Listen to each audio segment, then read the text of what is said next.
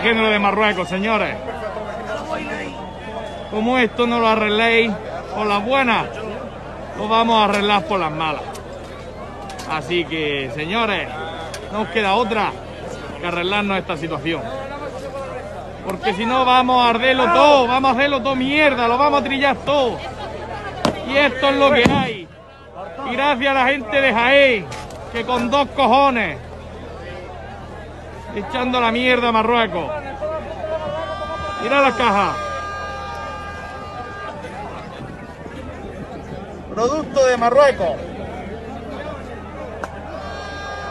Ahí está, al suelo con dos cojones.